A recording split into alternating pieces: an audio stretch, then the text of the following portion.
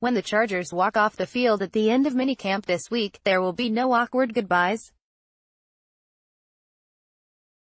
Unlike like last year, when the Chargers were in the process of moving from San Diego, cameras won't surround Philip Rivers as he takes his final steps out of a practice facility he had known his entire career.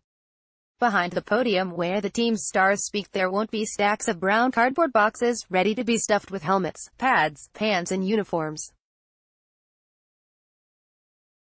Advertisement there won't be any holdouts, at least it doesn't seem as if there will be. There won't be any talk about new systems, about getting to know coaches or players. No, the next three days will offer only boring old football for the Chargers, the team wrapping up a relatively quiet off-season with mandatory practices before taking a break until training camp. We are just looking for each guy to give us a couple things that they want to improve on, and we are really focused on those things they want to improve on, Chargers coach Anthony Lynn said. We just want for that player to be better when he leaves here on June 15th and when he got here on April 17th, and, for the most part, they've all been there since the start of the off-season program. Melvin Ingram eventually made it for the final round of organized team activities after off-season workouts with his team of trainers.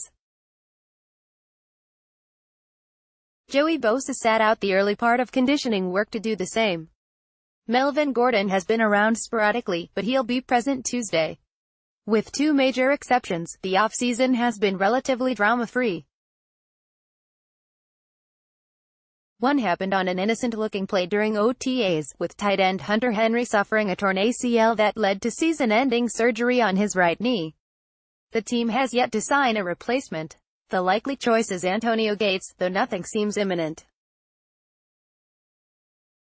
Henry was set to be a bigger piece of the offense this season, and at minicamp the Chargers can start to evaluate options to replace him. The other off-season setback, defensive tackle Corey Liuget being suspended four games for violating the NFL's policy against performance-enhancing substances, won't come into focus until training camp when players start working out and pads and line play becomes more apparent. Otherwise, the storylines aren't anything too new. Last year's first-round pick Mike Williams was intermittently sidelined during OTAs because of a sore hamstring, but a full minicamp would help him make up for time lost to a back injury last summer.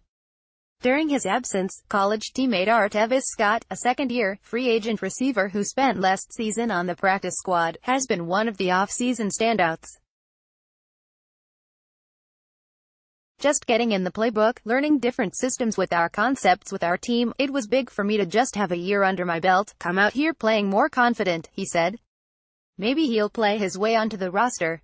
Maybe some other unheralded players will surprise. Regardless, the Chargers can take some comfort in knowing this offseason has been about football, and not much else.